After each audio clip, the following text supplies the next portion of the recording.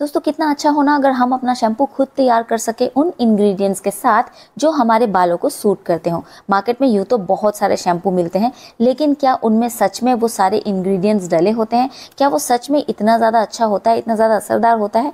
पता नहीं। छोड़िए उन केमिकल्स वाले शैम्पू को। चलिए हम अपना शैम्पू खुद तैयार करते हैं।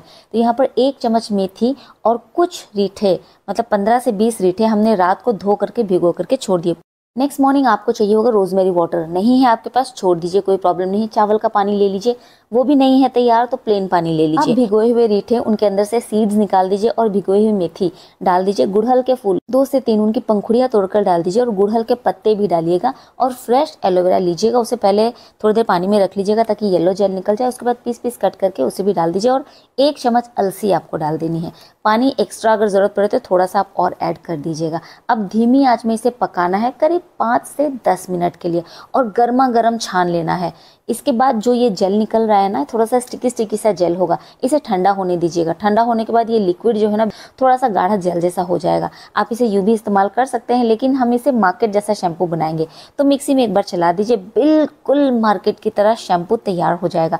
इसके साथ शैम्पू करके देखिए, बाल इतने क्लीन हो जाएँगे ना, बिल्कुल स्कैल्प साफ़ हो जाएगा और आपके बालों का झड़ना उसी वक्त आपको महसूस होगा कि कम हो गए। बालों में शाइन आ जाएगी और बाल बहुत ही मुलायम हो जाएँगे। तो यहाँ तक हमारा रीठा शैम्पू तैयार हो चुका है। अब सवाल ये आता है कि बचे हुए इंग्रेडिएंट्स का हम क्या करें? क्योंकि हम इंडियंस किसी भी चीज़ को वेस्ट नहीं करते कण कण से उनके गुण को निकाल करके उनका इस्तेमाल करते हैं। तो टेंशन बिल्कुल ना ले, इसका समाधान हम करने जा रहे हैं। तो जितने भी इंग्रेडिएंट्स हैं ना, उन्हें डालेंगे मिक्सी में थोड़ा सा पानी डाल करके पीस लेंगे और उसके बाद इसमें डालेंगे थोड़ा सा और पानी। आप देख सकते हैं कि इसमें कितनी झाग बन रही है ना? इस तरह से हम एक कपड़ा ले लेंगे और ऐसे करके हम इसको डाल के पूरा अच्छे से निचोड़ लेंगे। सब्सक्राइबर फैमिली उन्हें मैं पूरी तरह से एक्सप्लेन ज़रूर करूँगी कि रीठा एक नेचुरल सोप है, इसीलिए इसे सोप नट कहा जाता है। पुराने ज़माने से लेकर आज तक सोने चांदी को चमकाने के लिए रीठा का इस्तेमाल किया जाता है, किसी तरह का कोई डिटर्जेंट या सोप का नहीं। तो अगर आप गए होंगे किसी सुनार की दुकान में और अगर आपने कोई अपनी सोने चांदी की कोई चीज़ साफ़ करवाई होगी, धुलवाई होगी तो आपने नोटिस किया होगा कि वो लोग रीठा का ही इस्तेमाल करते हैं। तो रीठा में बहुत ज़्यादा झाग बनती है क्योंकि ये एक नेचुरल सोप है। तो मैंने इसमें किसी तरह का कोई और शैम्पू या सोप इस्तेमाल नहीं किया है। ये रीठा का अपना ही झाग है मतलब वो नेचुरल सोप है, इसीलिए इस तरह का फोम बनाता है। आई होप कि रीठा को लेकर के अब आपके मन में कोई सवाल नहीं होगा। यहाँ पर आप देख सकते हैं, जिस छलनी में मैंने उसे छाना था ना, जो शैम्पू हमने तैयार किया है, उसको जब मैंने वॉश किया तो आप देख सकते हैं कितनी झाग बन रही है। अब सोच लीजिए, आपके बालों में ये कितनी झाग बनाएगा। हमेशा सबकी ये शिकायत रहती है ना कि जो भी होममेड शैम्पू वगैरह होते हैं ना, उसमें झाग नहीं बनती।